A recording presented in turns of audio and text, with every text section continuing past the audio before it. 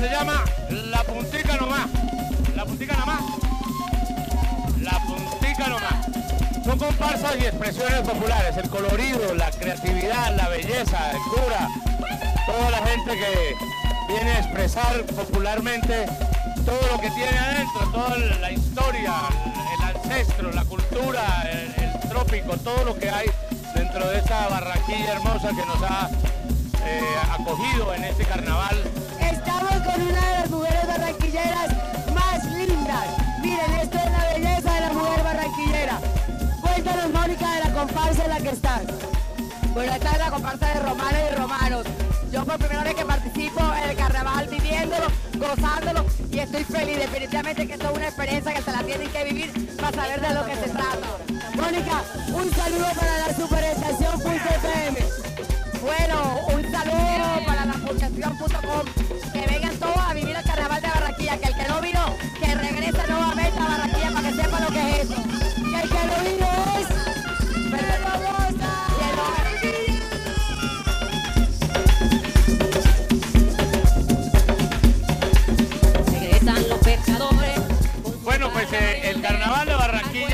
quien lo vive es quien lo goza. Pero aquí hay muchas historias, muchas anécdotas, muchos ancestros, sobre todo las historias de los indios.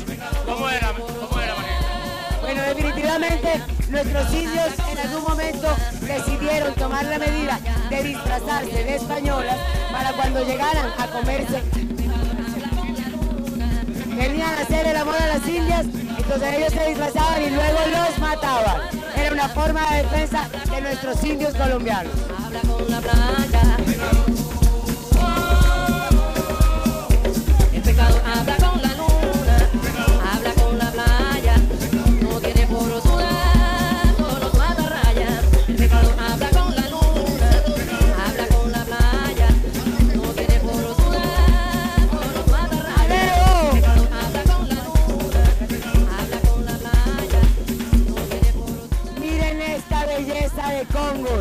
Estos son los congos modernos en el carnaval de Barranquilla. Un despliego de luces, caras, animales, flores, pájaros, instrumentos, plumas.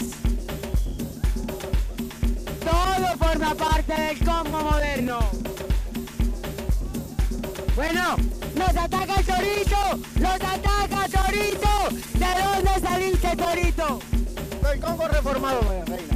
Tenemos a Fernando Pava Camelo de la superestación punto FM bailando eufórico el garabato, danza insigne, danza tradicional y representativa de nuestro carnaval.